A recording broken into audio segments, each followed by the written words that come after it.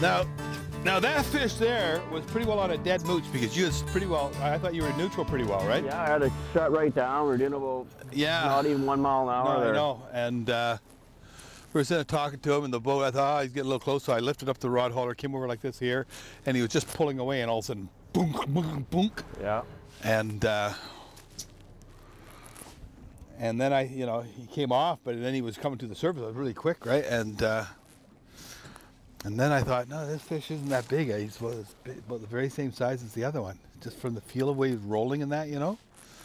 But then when he came out of the water there, I slowed it right down. Your bait probably fell, so it probably uh, probably grabbed it there. yeah, yeah.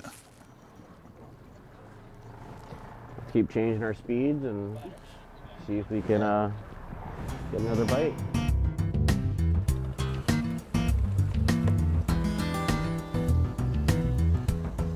We at here?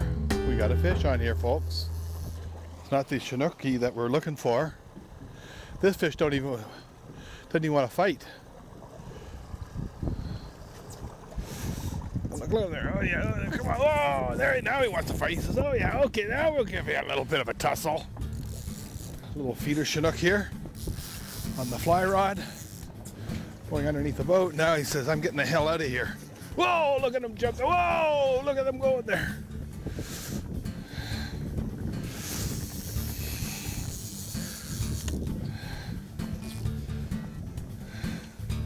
He just can't quite figure it out. You see, what, well, a lot of times what happens with a fly rod is it's so light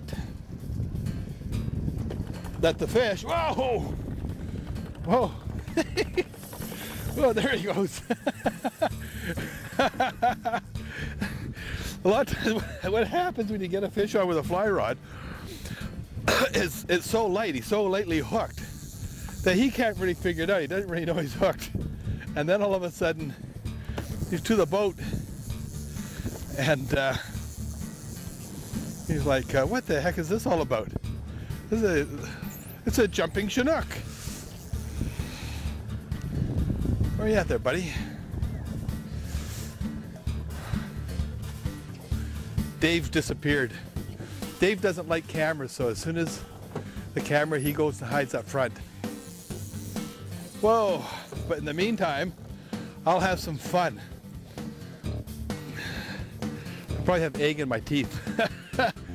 I, uh, for breakfast this morning, I, You always get a bite when you're having lunch, Gary. yeah, I had that hard-boiled egg. I was having fun with that hard-boiled egg,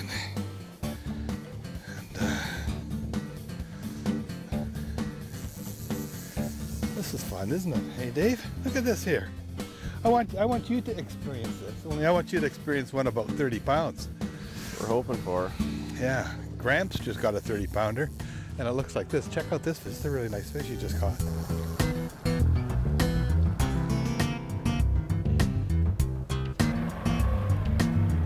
Very nice.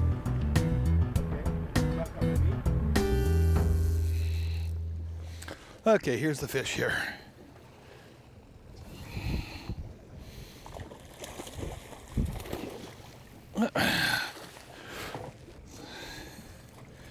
That's a nice. Oh!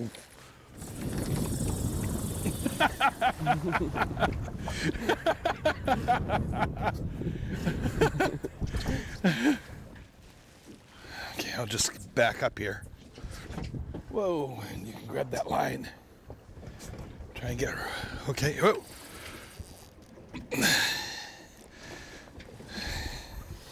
Doesn't like coming near the boat. No, he doesn't. He's he's. Whoa. Come on, Mister.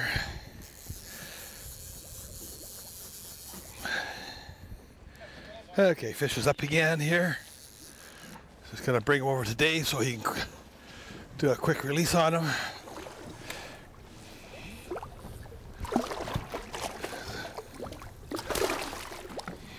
You want to use the gaff to release it? Do a gaff release there.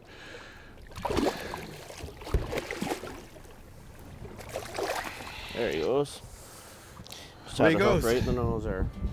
Right in the nose. That's where you want to hook them, right? Float planes are the taxis of the BC coast. Rules have it that a pilot's ceiling should be 500 feet. When I see cowboys like this flying the coastline with this poor visibility, well, it takes away my wonder of why planes go down because of pilot error. They're crazy. This is a good fish. Let me take my sunglasses off here. I got us a neutral now, Gary. You know, What? I got us a neutral now, so let us, you know. Okay. You see, I saw him bump it the once, eh? he bumped it once. And then uh,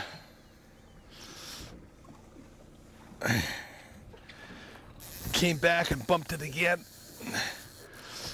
Oh yeah, this is a good fish, I think. It's just a nice little overcast. You can tell there's a good bite, okay, because all of a sudden the water's moving different. You see the birds. Nice. You got a heavy fish on there. Yeah, it feels pretty good. He's just up on the, he's just gonna come up there now.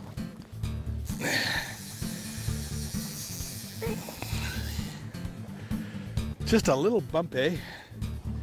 There's just a little bump on the uh, on the rod. I went, oh.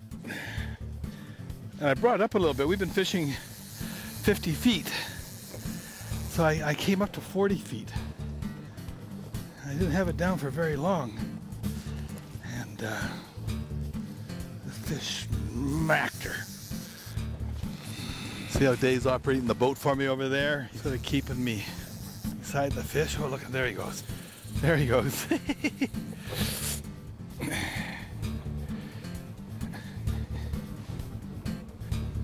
what a day this has been. What a fabulous day. Rivers Inlet, land of the big Chinooks. Three river systems up here that are bearers of fish over 50 pounds. And there are three out of only, if only about a half a dozen rivers in BC that can lay claim to that. And they're what they call seven-year-old fish. It's a genetic strain that stays out at sea for seven years. And at any time when you're fishing up here, you can have an opportunity of hooking into one of those fish.